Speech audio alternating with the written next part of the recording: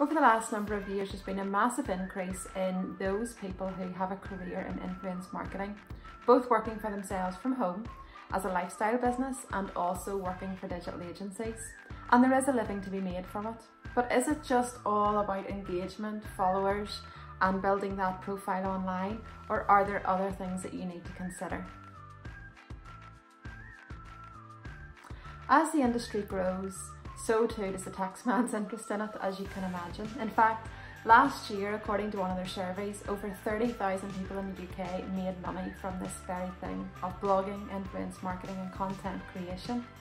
So what do you need to know about it? What are the important things that you should know to keep you right? As an accountant and one that actually loves social media herself, I am asked again and again that question of how do I deal with my taxes if I'm an influencer marketing? And you know what? Because it's so new, it's only been recent that the legislation has actually been updated and has been released by HM Revenue and Customs.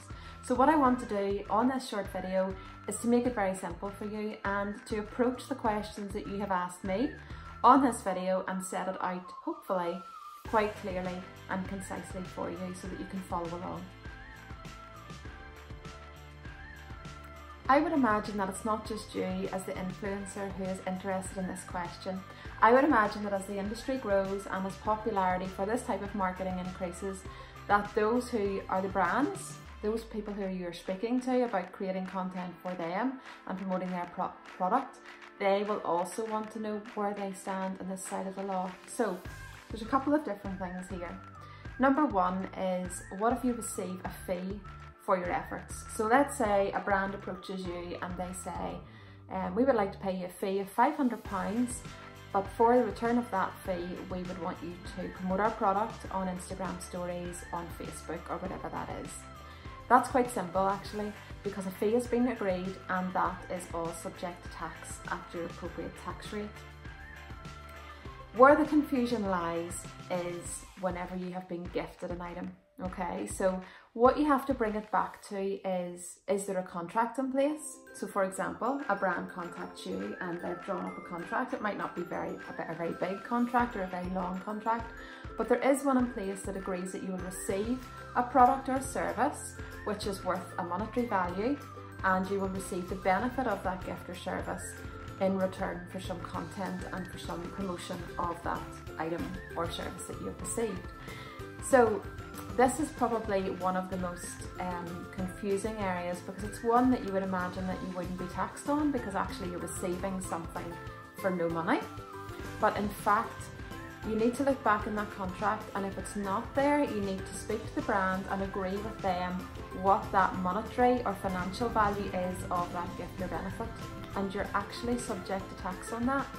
So that is a really important one because obviously you put yourself online for everybody to see, for the world to see, and there will be a footprint of that. And therefore it would be very easy to get caught out in this area. So I'm just putting it out there to say, if there's a contract in place, and if there's been um, a monetary value to the benefit that you're receiving noted in that contract, if there's not, go and get that monetary value and also you should be taxed on that benefit. Now in quite a few instances that will be the cost value of the item, it won't actually be the retail value, which is great because you'll be taxed on the lesser of that value if that's what's noted. Yeah, so that's a big one, unexpected gifts. So I would imagine that as an influencer, you are bombarded by Royal Mail, TNT, um, all those delivery drivers with free goods and I know myself that it is tempting as a business owner to send gifts for free to try and get something back. Um, this is a nice area because if you're genuinely gifted items that you didn't agree to do any content for, but maybe you do a bit of promotion anyway, you are not subject to tax on that because there's been no contract. So for example, um, let's say a lovely boutique sends you a lovely top and a scarf to wear and they haven't agreed a fee with you. They maybe, maybe you think they're being quite cheeky by doing it, but whatever you think of them, they've sent you a gift. You have worn it and you have um, got out your phone and snapped a photo of yourself wearing it and in essence promoted their brand for free. It's tax free. So that's, that's quite a nice one for you because you can enjoy the benefit of the gift, but you're not taxed on it. Yeah, this is one that I asked about a lot. So this is just a lifestyle business. I don't really make very much from it, but I do have another job. I don't think I should be taxed on it. Unfortunately, that is incorrect. So if it's a sideline business for you, even if you're only earning a couple of thousand pounds a year, but it is looked at as a second job, and therefore you should complete a tax return for that. Of course, if it's bigger than that, so if you're earning a good um, income from it, it all should be declared to HMRC according to the rules that we've just discussed. How do you go about doing that then? Well, you do need to register with HMRC and in the next little section, I'll talk about how to do that. It's very simple to register with HMRC and one of the easiest ways to do that is to register for self-assessment. What you can do is head over to Google and type in register for self-assessment and it will bring up a very straightforward form that you can complete. It may just ask you to set up an online account first and if that's the case, go ahead and do it.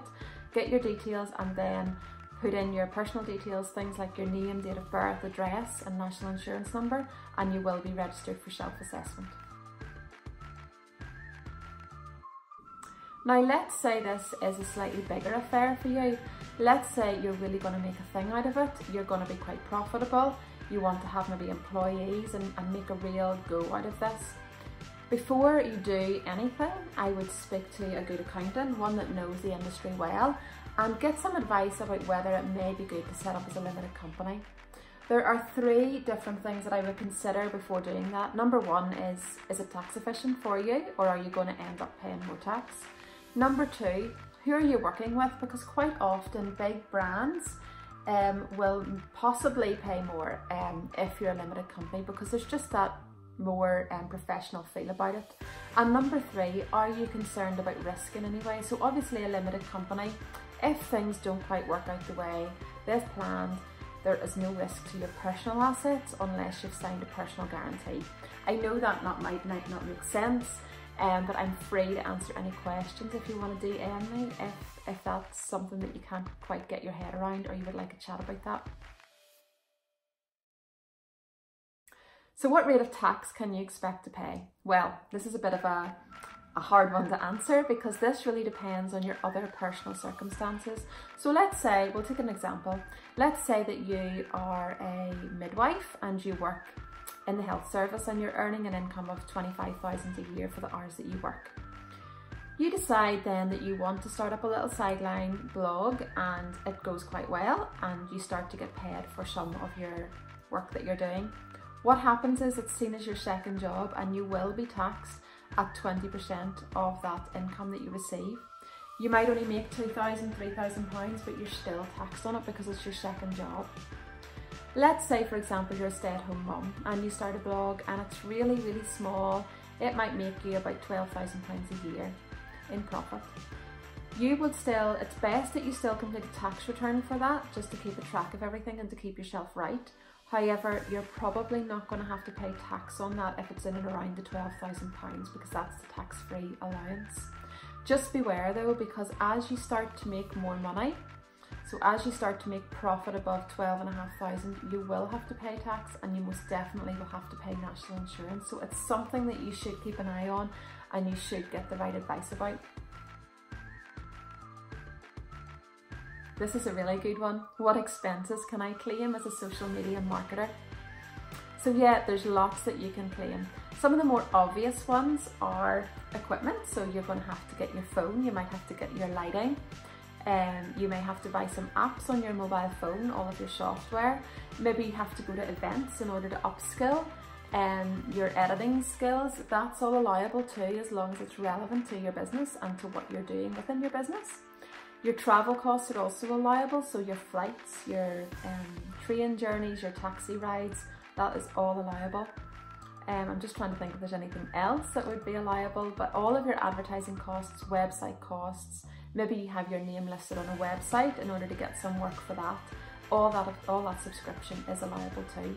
Of course, there's going to be less obvious ones, and that's where the likes of myself comes in. You do need to get that proper advice.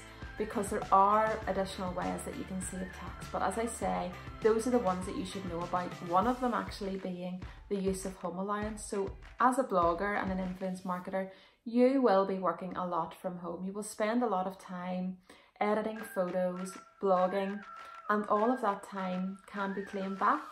There's something called the simplified method with HM Revenue and Customs, and that is based on the number of hours that you work from home. So it's something to check out and to make sure you record it on your tax return to get that tax relief.